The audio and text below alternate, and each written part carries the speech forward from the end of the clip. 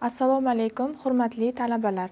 Bugun siz bilan xalq pedagogikasi fanidan oila tarbiyasining xalq pedagogikasi manbalarida aks etishi mavzusida suhbatlashamiz. O'zbek oilalari asrlar davomida mustahkam ahil jamoa ma'naviyat va tarbiya o'chog'i bo'lib kelgan. Xalq pedagogik manbalarida oila tarbiyasining ahamiyati uning axloqiy qadriyatlarini singdirish amaliy hayotiy ko'nikmalar berish shaxsda chuqur madaniy o'zlik va daxldorlik tuyg'ularini tarbiyalashdadir. Oila tarbiyasi xalq pedagogik manbalarida avloddan avlodga o'tib kelayotgan qadriyat va an'analarni aks ettirishda muhim o'rin tutadi. Uning ahamiyati bu manbalardan topilgan abadiy hikmat va amaliy bilimlarda yaqqol namoyon bo'ladi. Ushbu manbalarni o'rganish orqali biz shaxslar va jamoalarni shakllantirishda oilaviy ta'limning asosiy rolini ta'kidlab ularning oilaviy va madaniy kontekstlari doirasida shaxslarning yaxlit rivojlanishi haqida qimmatli tushunchalarga ega bo'lamiz. Oiladagi muhit turmush qurish borasidagi an'analar sog'lom ma'naviyatli avlodni tarbiyalashga xizmat qiladi. Ma'naviy barkamol jismoniy sog'lom farzandlarni voyaga yetkazishda oilada amalga oshiriladigan axloq odob tarbiyasining ham o'rni benihoyat kattadir.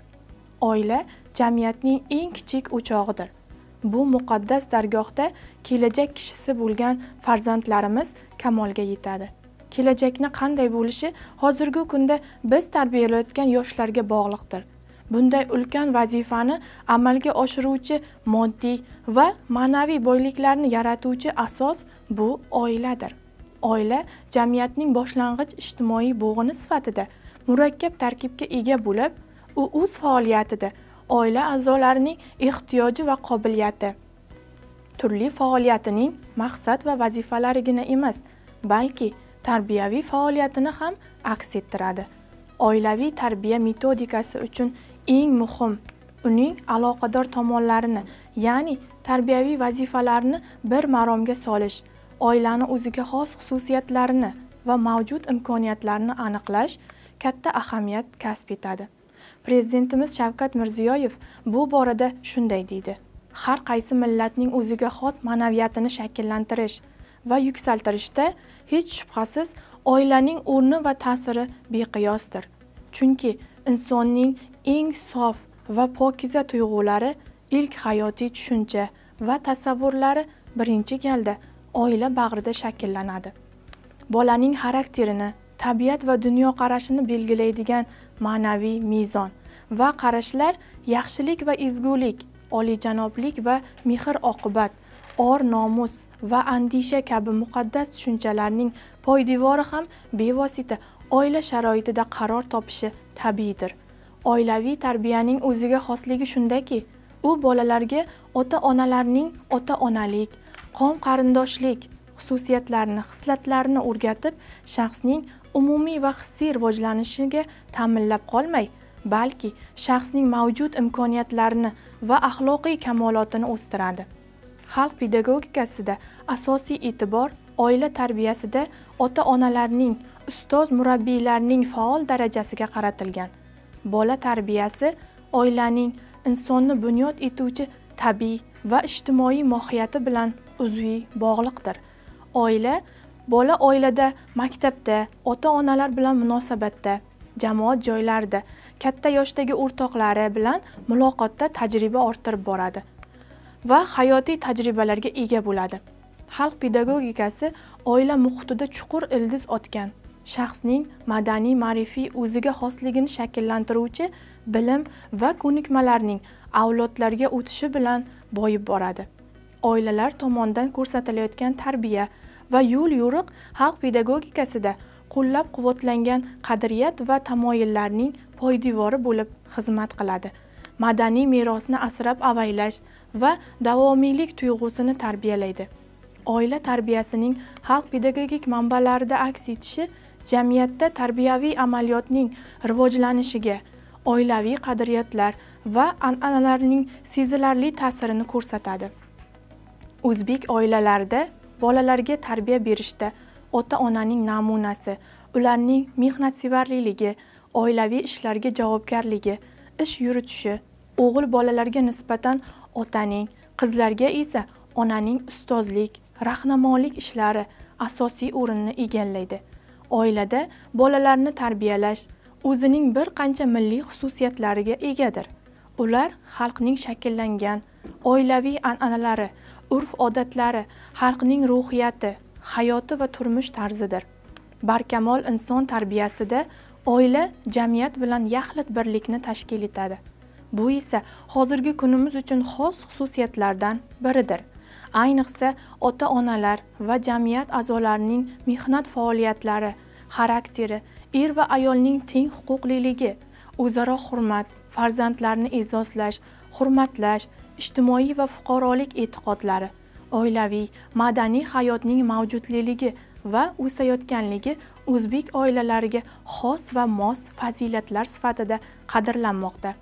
Oilaviy tarbiyada xalq pedagogikasi an'analari ertak maqol topishmoqlar shaklida o'z ifodasini topgan va bu tarbiyaviy ta'sir ko'rsatish vositasi sanalib tarbiyaning barcha qirralarini qamrab olgan. Ushbu aytib o'tilgan maqollar topishmoqlar farzandlarimizga o'rnak namuna sifatida aytib o'tiladi.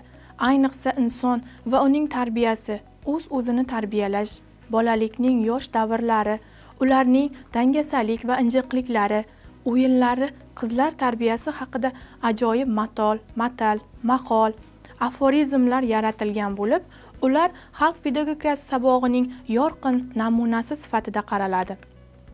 Xalq donishmandligida ota onalar haqida ularning bolalari bilan munosabatlari onaning madaniy tarbiyaviy ta'siri atroflicha yoritilgan.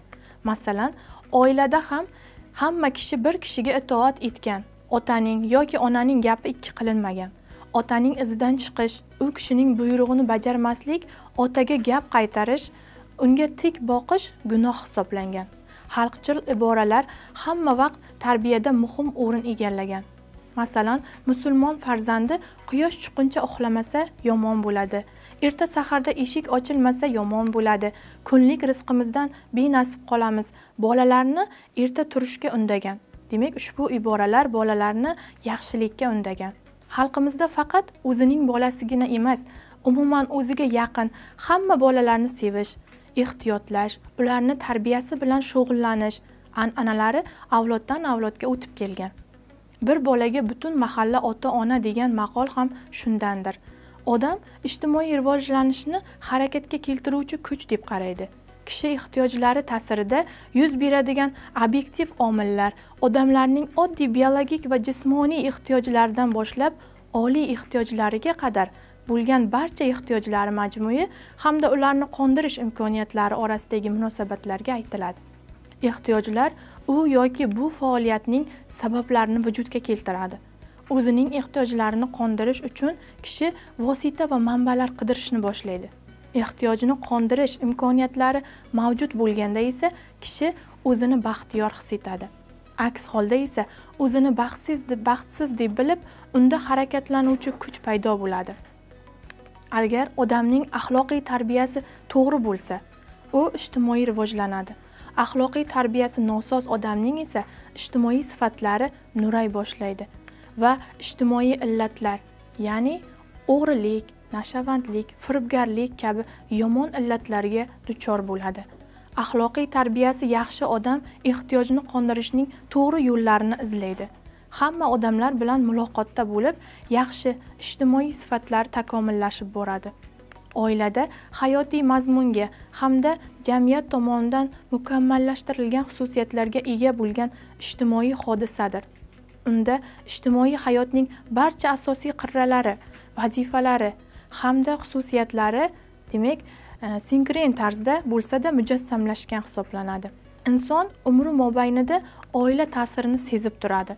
Dastlab ota onasining oilasida ota onasining bag'rida. So'ng o'zi qurgan oilasida hayot kechiradi. Har ikki holda ham oila insonning shaxs sifatida qaror topishiga muhim tarbiyaviy ta'sir ko'rsatadi. Inson oilada individual va ijtimoiy hayot ko'nikmalarini hosil qilibgina qolmay balki unda o'ziga munosabatlarni yo'lga qo'yish bo'yicha ota ona maqomi ham muhim o'rin egallaydi. Aksariyat tadqiqotlarda oilaning ijtimoiy institut sifatidagi to'rtta asosiy vazifasi ajratib ko'rsatilgan. Bulardan birinchisi birinchi vazifasi farzandlarning tug'ilishi bilan bog'liqdir. Ikkinchi vazifa esa yangi avlodni ushbu jamiyat madaniyatlaridan bahramand etish. Uchinchi vazifa shaxsning o'zini o'zi kamol toptirish. Uning qobiliyatini yuzaga chiqarish uchun sharoit yaratish. To'rtinchi vazifa esa shaxsning muomala va muloqotga hissiy qulaylikka bo'lgan psixologik ehtiyojlarini qondirishdir.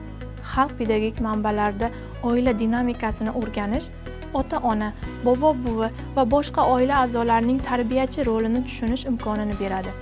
Ushbu manbalar orqali o'tadigan qadriyatlar e'tiqodlar oiladagi ta'lim tajribasini shakllantirib boradi.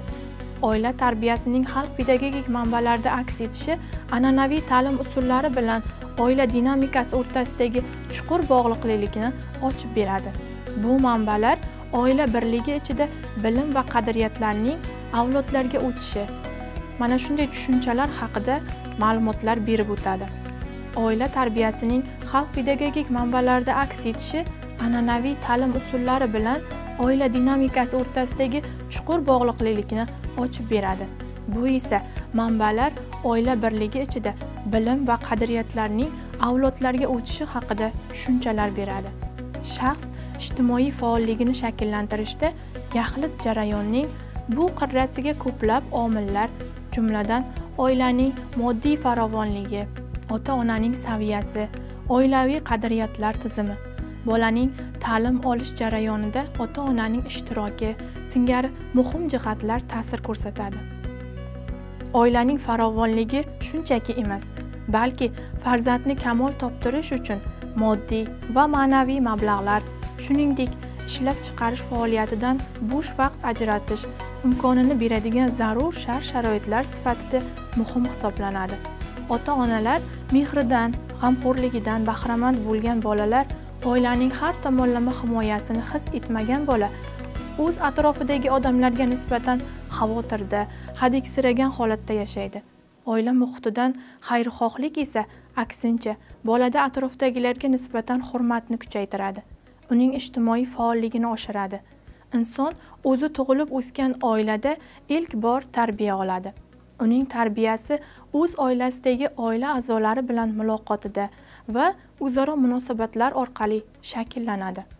Bolaning kelajakda shaxs sifatida shakllanib komil inson bo'lib yetishishida qanday oilada tarbiyalanayotganligi oilada qanday iqlim hukm surayotganligi o'z ota onasi bilan bo'lgan o'zaro munosabatlarning qay tarzda kechayotganligi bilan muhim ahamiyat kasb etadi.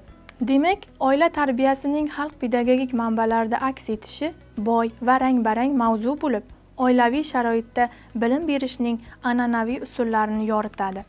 Oiladagi an'anaviy ta'lim va xalq pedagogikasi uy sharoitida o'rgatilgan og'zaki hikoyalar tajriba asosida o'rganish va amaliy ko'nikmalarning muhimligini ta'kidlaydi.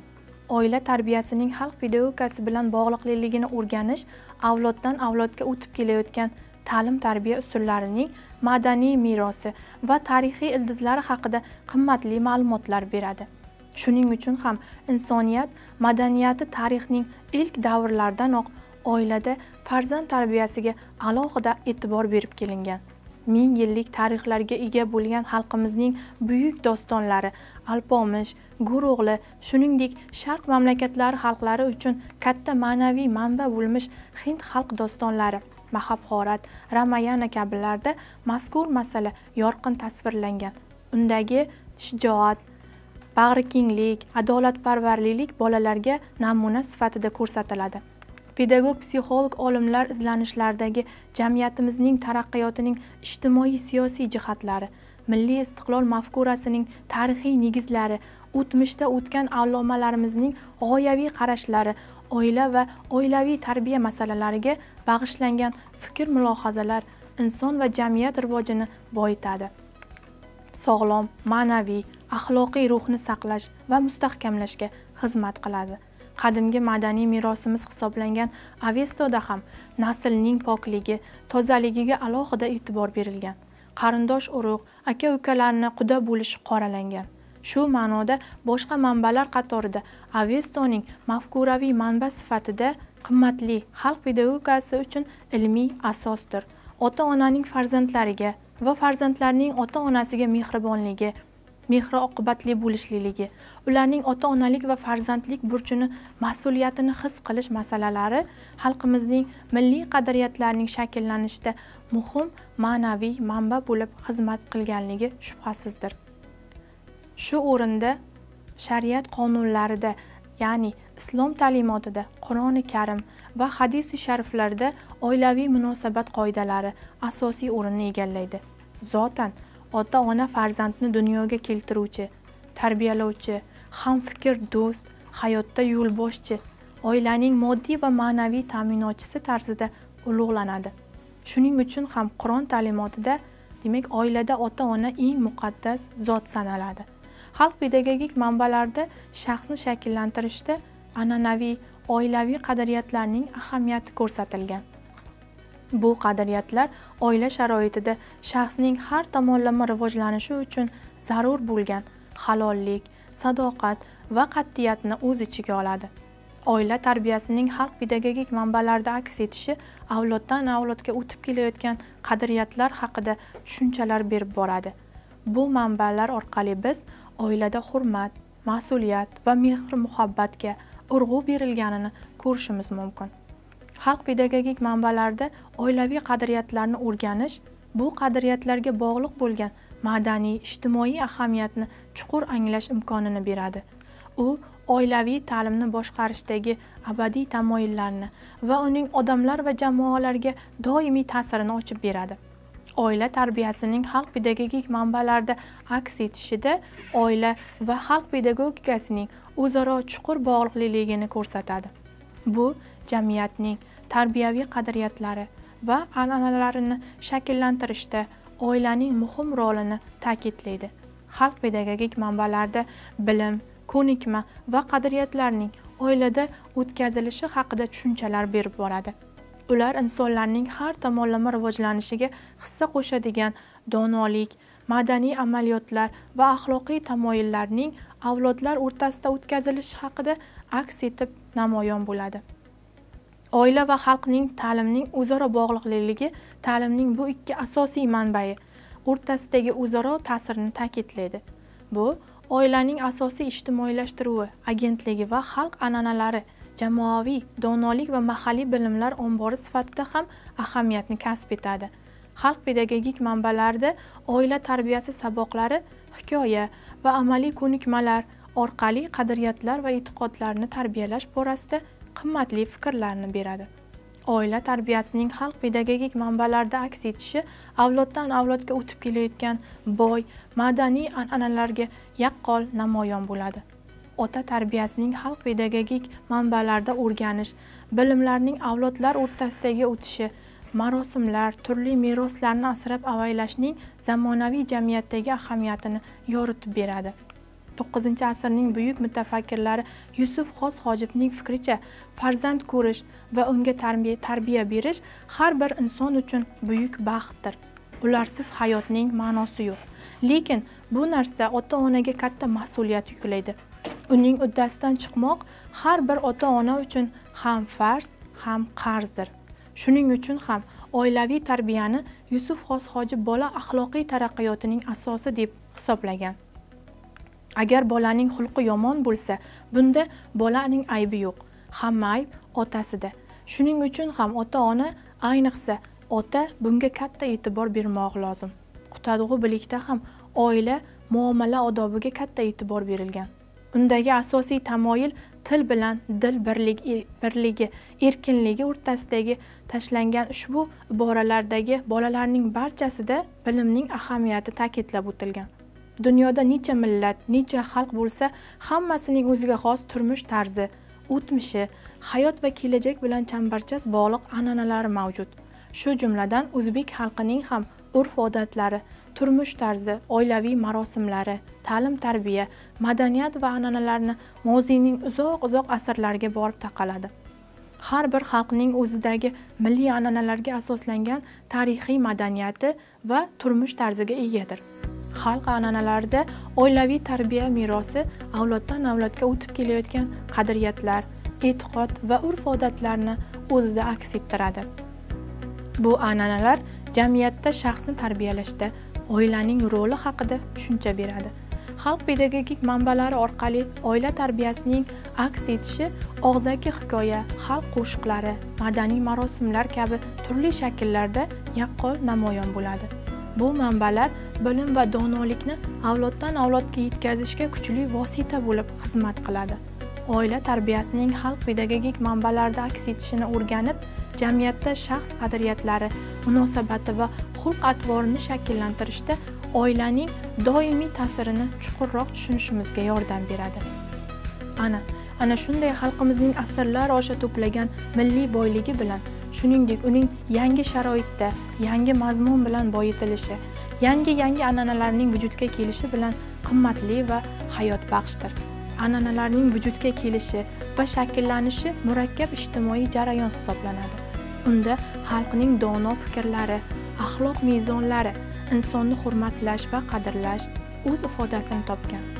Oilaviy an'analarda bolalarning tug'ilishlari bilan bog'liq bo'lgan marosimlar urf odatlar bolalar tarbiyasiga taalluqli bo'lgan va umuminsoniy tomondan kamol toptirishga yordamlashadigan turli xil mana shunday urf odatlar asos qilib olingan. Amaliy maslahatlar qoidalar metodik usullar va vositalar kiritilgan. Har davrning yangi an'anasiga yangi avlod vakillarining xususiyatlari shuningdek ularning o'tmish haqidagi yorqin xotiralari mehnatkashlar ommasining kelajak uchun intilishi o'z aksini topadi. Boshqa xalq an'analari kabi oilaviy an'analarda ham shu xalqning tarixi uning turmush sharoiti va hayot tarzi bilan bog'liq o'tmishi va kelajagi aks etadi. Shu ma'noda o'zbek xalqining oilaviy an'analari qimmatli va azizdir. Xalq donishmandligida ota onalar haqida ularning bolalari bilan bog'liq bo'lgan munosabatlari onaning madaniy tarbiyaviy ta'siri donoligi atroflicha yoritilgan.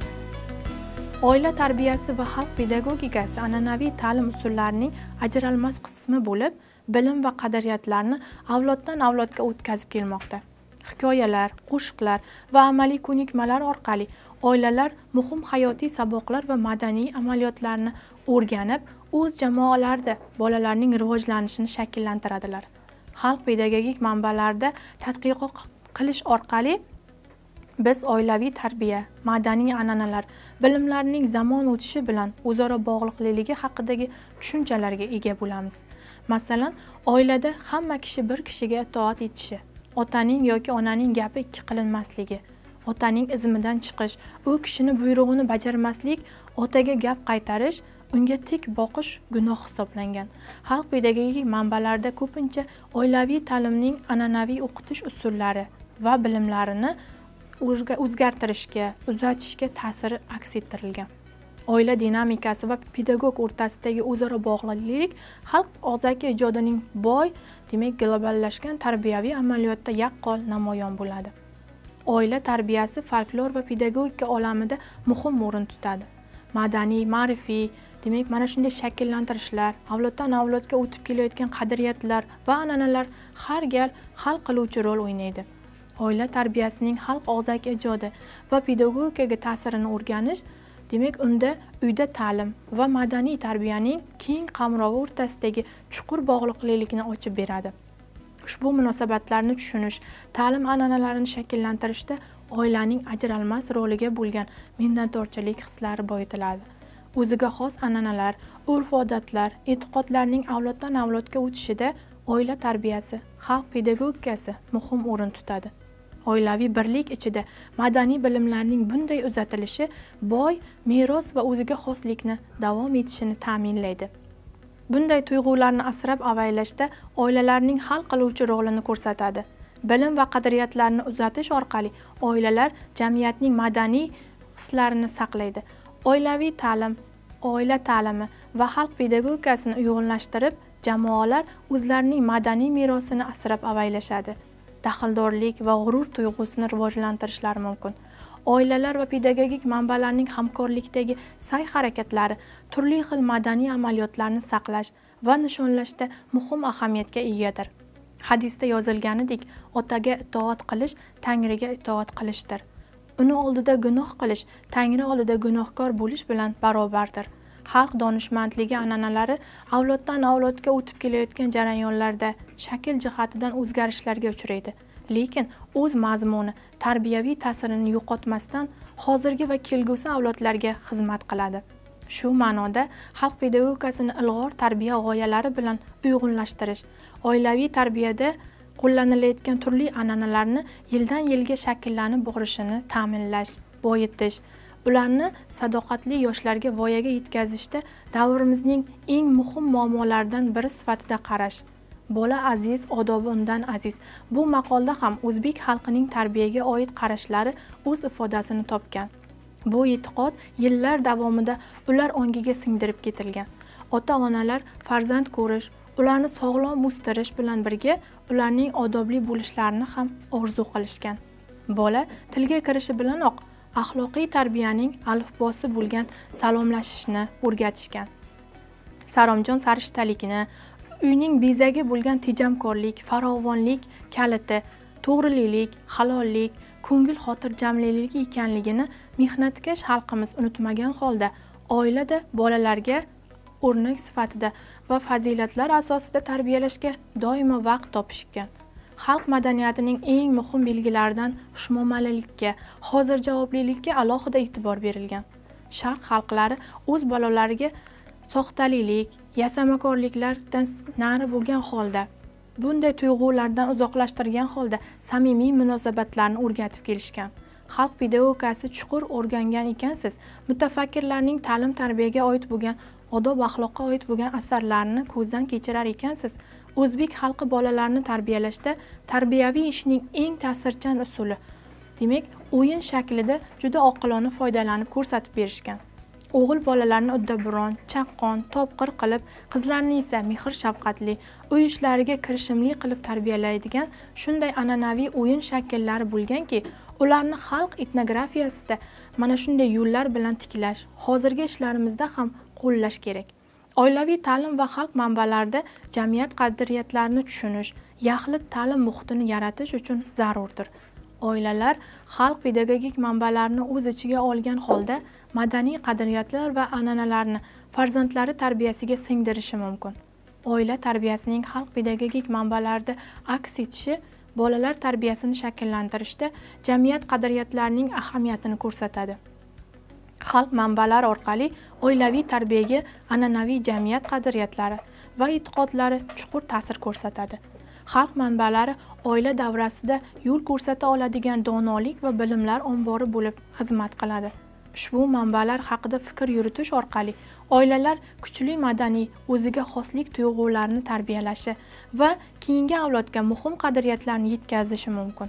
Oila tarbiyasining xalq pedagogik manbalarida aks etishi an'anaviy ta'lim usullarining mustahkamligi va mosligini ta'kidlaydi. Avlodlar davomida ushbu manbalar oilaviy ta'limda mustahkamlikni tarbiyalash uchun qimmatli saboqlarni o'z ichiga olgan. Oila tarbiyasi va xalq pedagogik manbalaridagi chidamlilik va moslashishning kesishini o'rganish an'anaviy o'qitish metodikalarining doimiy dolzarbliligi yoritib kelingan ushbu manbalar oilaviy ta'limda zamonaviy yondashuvlarni demak mukammallashtirib yo'naltirishga davom etmoqda. Hozirgi kunda xalq pedagogik manbalarini hikoyalar ombori bo'lib xizmat qiladi. Oila tarbiyasining moslashuv xususiyati haqida tushuncha beradi. Ushbu manbalarda aks ettirilgan ko'p asrlilik amaliyotlar va e'tiqodlar rivojlanayotgan ijtimoiy dinamika sharoitida chidamlilikning muhimligini ta'kidlaydi va shu o'rinda bolalarga ta'lim tarbiya berishda asos sifatida qabul qilingan. Ushbu berilgan ma'lumotlardan xulosa qilib shuni aytishimiz mumkinki xalq pedagogikasidagi o'rganilayotgan ushbu milliy xalq og'zaki ijodi namunalari yosh avlodni tarbiyalashda bizga asos sifatida hozirgi kungacha saqlanib kelinayotganligi va muhim ekanligini ko'rishimiz mumkin. E'tiboringiz uchun rahmat.